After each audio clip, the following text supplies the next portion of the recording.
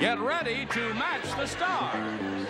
Robert Vaughn, Brett Somers, Gary Burghoff, Patty Duke Richard Dawson, and Mitzi McCall. As we play the star-studded Big Money Match Game 75.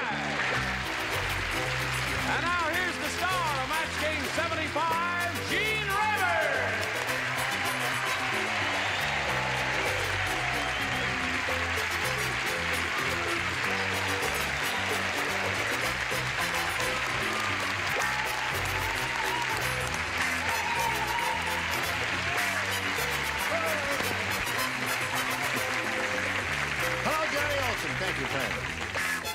You got an agitated group here, haven't you? Well, we welcome you, and we thank you for joining us, and we thank you for joining us because we couldn't do it without you. Thank goodness. You got whales all over your shoulders and Yes, arms it's and various places. Yes. Isn't that attractive? Very. Yes. I have a message for you. Yes, what is From your me- Bert Convy.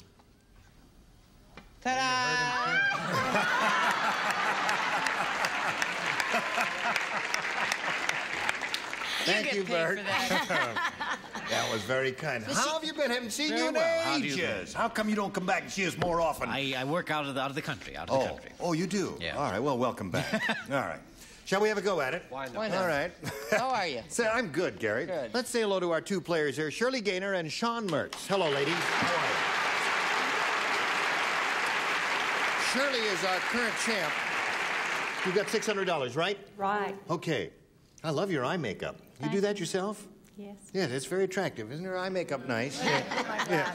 Well, uh, and Sean Mertz here, uh, you've got five and you've got three, and you've got one question to go over here, Shirley, right? Where the second half of round two is coming up. So you're going to have to match two to stay in the game. Three will win another game for you. Is that clear to you? well, it's not clear to me. I Anyway, think about it for a minute or so and then come right back. Okay, ready? Yeah. Yeah. you finished with the uh-huh. you had a little sip of water? You're getting a little dry, are you? All right. Now this is for you, Shirley. Pay strict attention. Now remember, you need two to tie, three to win. I don't write. I don't There are three people here who do not play. Brett, Gary, and Richard do not play. The rest of you do. Arnold said, I will never again play with my trash compactor when I'm drunk. See that square blob over there? That used to be my blank.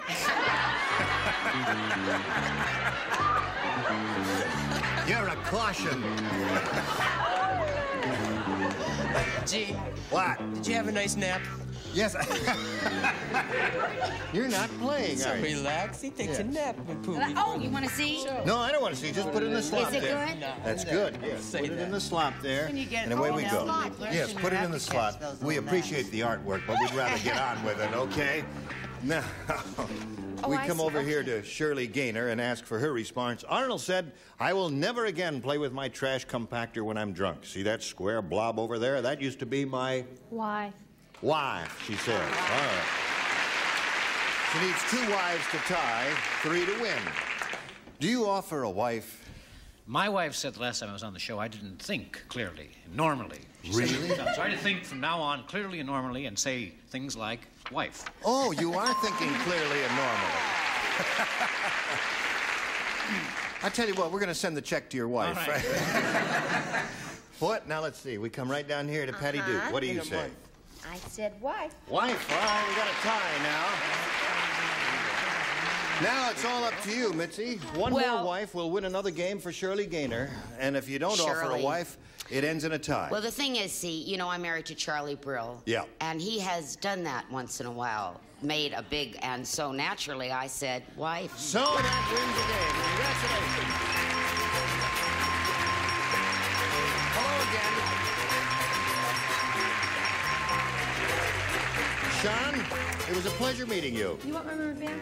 Oh, was that your lucky rubber band? Well, I guess it, it was your lucky rubber band. Well, I'll keep it and I'll put it around my wrist and perhaps it'll bring me luck. We have a gift for you together with our thanks for being with us here at Match Game 75. Sean Okay, Shirley. There it is. Here we go again. You ready? Okay, now you know how this goes. We polled a recent studio audience, and we got their best response to this. a pack of blank. Now, the answer they gave most often, remember, is worth $500 if you match it. If you match the next one, you get 250 and if you match a third, you get 100 Which three celebrities would you like a little assist from? Richard. Richard? Pack of lies. A pack of lies, he says. Okay, there's one. Brett. Brian. How about, um, how about a pack of cigarettes? A pack of cigarettes. All right, you've got two. You need one more. Gary. Gary. Unfortunately, I think yours is the one, but I, I, there's also another one, a pack of gum. A pack of gum. All right. So you've got a pack of cigarettes, a pack of gum, and a pack of lies. Surely you may choose one of those or think up one of your own if you think you got a better one. What is your decision? Cigarettes. Cigarettes. Okay, that's what we're looking for up here. She says it's up there, and she hopes it's going to be under the $500 response. We'll start at the bottom and reveal first the $100 response. Pack of Lies is up there, is the one that Richard gave. All right. Looking for a pack of cigarettes. Here's the $250 response. Pack of Wolves is a good one. You think of that? Honest engine. I didn't think of that at all. You're but I see it. for It's a pretty good answer. Don't you think that's pretty good? All right, here's your last chance for a pack of cigarettes. Do you smoke? No. Oh, you don't? What the heck you say that for? I don't know. All oh, right, may we see the $500 response? Cigarettes in here. Good. All right.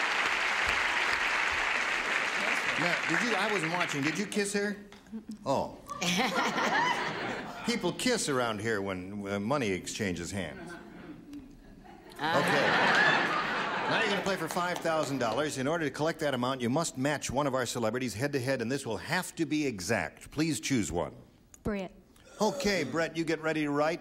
And Shirley, you'll just face me, and I'll get the $5,000 question. It goes like this Doc blank. That's D O C blank. Doc blank. Doc.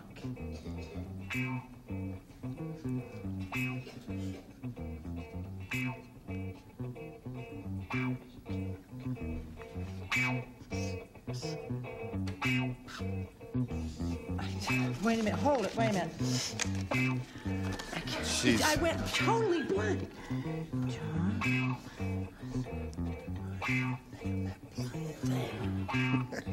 He's not going to help you now, honey. It's not allowed. Come on, I w- helped you before. what is that word? Do you have a word in mind that you Well, can't? ye- ye- yes, I can't think of it. I'm just gonna have to write something.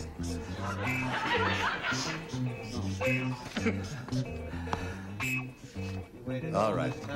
Okay. Oh. Now, she's finally come up with an answer. You had a little trouble with it, Shirley. Now, we want you to give us an answer which you think will match hers. What do you say to that, Doc? The only thing I can think of is Doc Severinsen. That's the only thing I could think of, too. I suppose there are other good answers, but I, I drew a blank on that. Uh, And she and I could only think of one answer. She says Doc Severinsen will match you. What do you say? I feel terrible. I didn't even come close to Severinsen. I was trying to think of that other doc, and I put Doc Holliday. Oh, well, Dr. Welby you were trying to No, think of? Doc Holliday from uh, Wyatt Earp. Oh, Doc. Oh, yeah, yeah, yeah. Earp, and I- Old Doc there. That was a good answer. Well, a I'm- tough one. yes, that was I a think- hard I thought of Doc You and I were on the same wavelength, weren't you? Well, But I all didn't right. know Now, Shirley, you're up to twelve hundred dollars, and you're going to meet another player in a moment or so. But first, we've got to do a little business. Then you'll start. Okay? All right. We're ready to start another game. To do that, we're very pleased to present another player. So let's welcome Betty Kobata. How are you, Betty? Hello, Shirley. Where are you from and all that? Would you like to tell us a little bit about yourself? Yes, I'm married to an aerospace engineer, we have a three-year-old little boy named Matthew. And I borrowed part of his blankie to bring along for good luck. Is that his security blanket? part of it. Part of his security blanket. I couldn't bring the whole thing. It would have been You- too obvious. Yeah, it would have looked funny there. Well, uh, That's when funny. Gary played uh, Charlie Brown, uh, you used to carry a security blanket, didn't you? Yeah, that was Linus carried the, the blank. oh, Linus carried the blanket. You never Gary carried just, he himself did it. the show. Oh, I see. All right, let's begin, shall we? Here we go with round one. Betty, please make a selection. B. B. B. All right. Everybody plays brand new game. At the lingerie factory, the supervisor said to Harold, Harold, Harold, I'm afraid you're not cut out for the testing division. You don't test a bra by blanking it.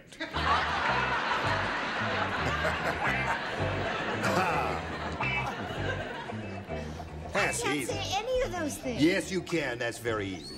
Harold, I'm afraid you're not cut out for the testing division. You don't test a bra by blanking it. I feel so bad. Why didn't I say Severinsen? Well, I, that was really kind of a hard one, I guess, wasn't it?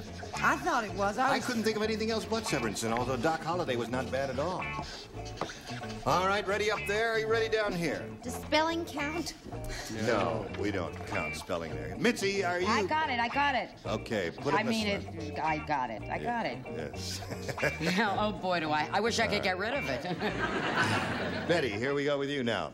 At the lingerie factory, the supervisor said to Harold, Harold, I'm afraid you're not cut out for the testing division. You don't test a bra by blanking it, Wearing it? by wearing it.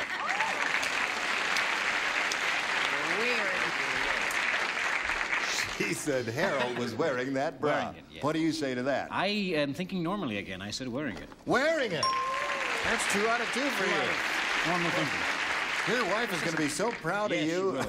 They never stand up. Don't worry about it. Yeah, you can throw that away now. See, I mean, we're proud of it and all that, and we saw it once, but we don't want to see it forever up there. Then. can we see yours, please? Do you know how he knew how Harold was testing it? How? He was arrested on Hollywood Boulevard. Oh, that's the last place he'd be arrested. I said wearing it. Wearing it? All right, buddy. that's two for you. How about you? Well, I just uh, copped one of her uh, little doodles that she dr- draws during the commercial. Would you like to see what it says? Yeah. It says Charles. Charles. Am I supposed to put up with that? Now I ask you. Just had him on his mind ever since. I said wearing. You said wearing. There's another one. Harold, I'm afraid you're not cut out for the testing division. You don't test a bra by blanking it. And Betty said wearing, and so far she's matched everybody. Does she do uh, match you, my dear? Can't I just say no? No, you got to play the game now. You got to show and tell Bouncing it. by bouncing it. Really? Oh, okay. Well, there are bras like that, you know. Oh, I didn't know that. Yes. How about Little you? person, you know that. Yes, sir, Mr. Dawson. You don't test a bra by. Pardon? You don't test a bra by blanking it. I never said you did. Why pick an argument with me? B is for blanket and Betty, and W is for wear. And W is for wearing. Okay, she's up to four now. What about you? You had a little trouble with this. You wrote three answers. What was your final thing there? Listen, I know from this because I wear a training bra. Oh, And the ones I wear, you don't. You don't test a bra by Blowing blowing it it up. Ha. Okay, so that's four for you. And now let's see how you do with your first round question, which is as follows Milton said to the surgeon, Dr. Quackenbush, you promised me the stitches would hold. You clumsy idiot. In the middle of my wedding ceremony, my blank fell off.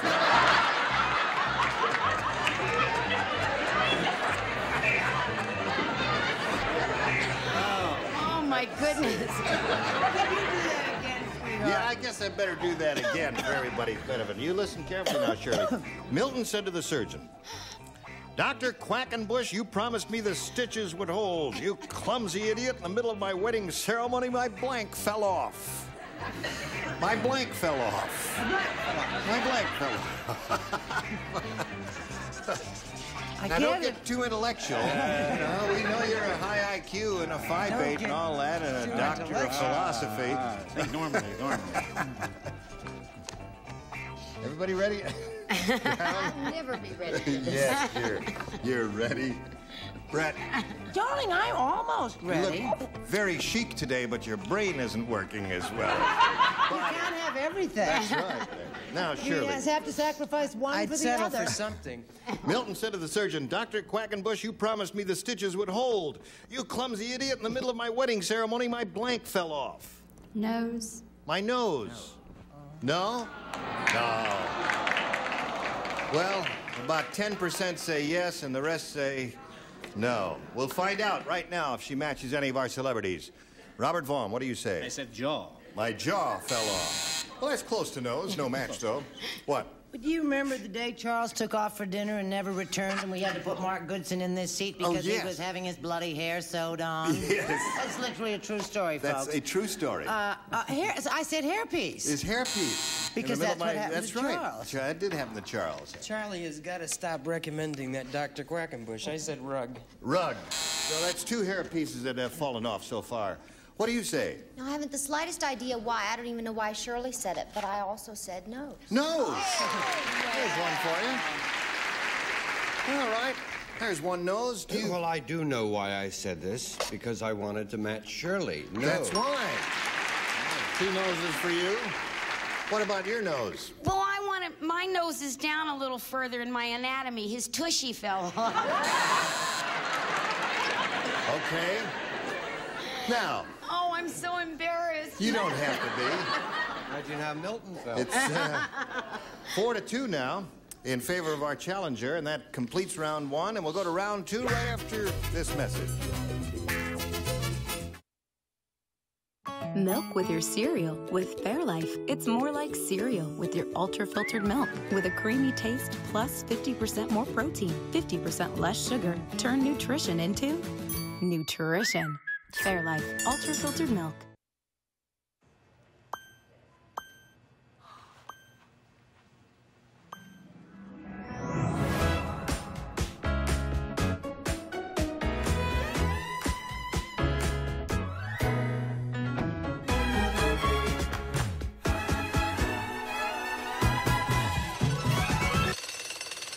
Break new ground with American Express Blue Business Cash. Earn 2% cash back on your first 50000 per year. All right. Now push this button, reveal our second round question. Score is four to two in favor of our challenger.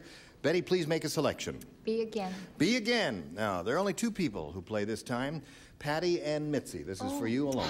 It's us, Sounds like kid. nightclub The pressure's act. on, Mitzi. That's it, babe. Jack said, oh. My wife gave me a terrible Christmas present. An aftershave called Godfather number five. It makes my face smell like blank.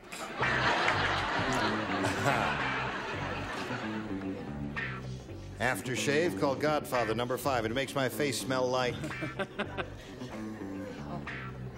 All right. Get it right in the slot Oh, there. the slot. Yes, That's my it. slot. Come on now. I know the God. Give me an Do inspiration. it. The Godfather. Give me an inspiration. All right. uh, uh, Okay, shut him up. Stick him up.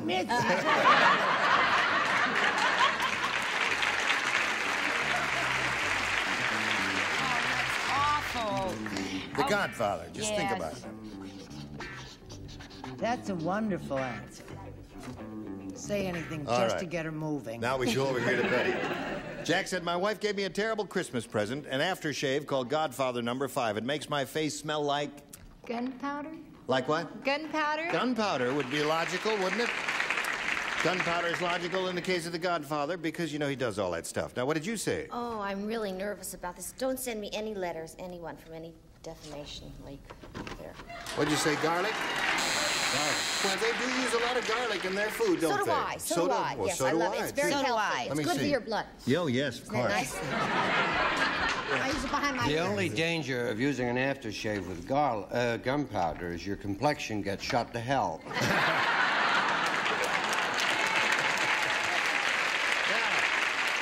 She's looking for gunpowder. Mitzi, what are you offering? I listen. I don't need to do this for a living. What's the worst thing that could happen to me? You come to my house and take away my refrigerator. Brando. Said it makes my face smell like Brando. Yes, you drew a blank, didn't you? There goes the Okay. refrigerator. Now, Shirley, They're not gonna you need two to tie and three to win. Here we go. Elmer. Who plays? Who plays? Uh, these two people do not play. Everybody else does. Elmer was I'm thrown out of the local aquarium when they caught him blanking in the goldfish tank.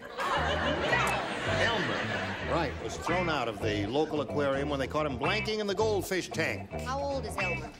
I don't know. No, oh, you're not even playing this. You shouldn't care how old Elmer when Elmer they is. caught him what in the goldfish tank? Blanking. Oh, blanking in the gold. Blanking in the goldfish tank. This is a good one. All right, you got it.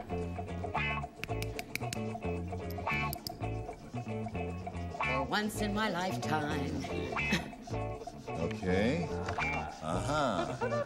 All right, those two people are ready, and we'll come over here and get a response from Shirley. Elmer was thrown out of the local aquarium when they caught him blanking in the goldfish tank. Tinkling. What's that?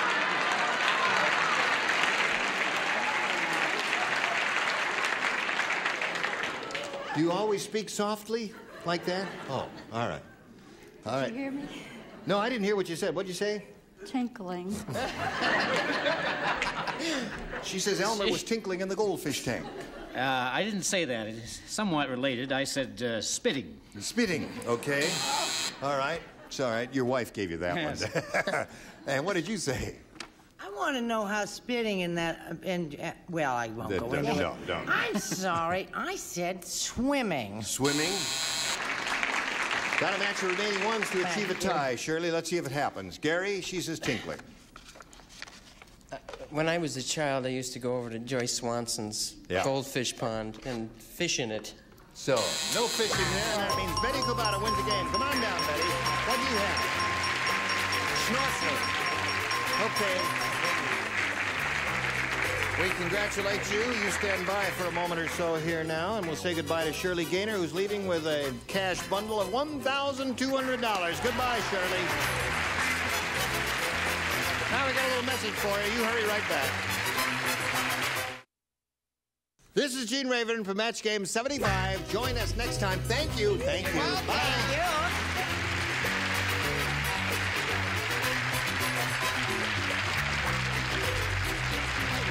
This is Johnny Olson speaking for Match Game 75, a Mark Goodson, Bill Todman production. This program was edited for broadcast. Stay tuned for Tattletales next over most of these CBS stations.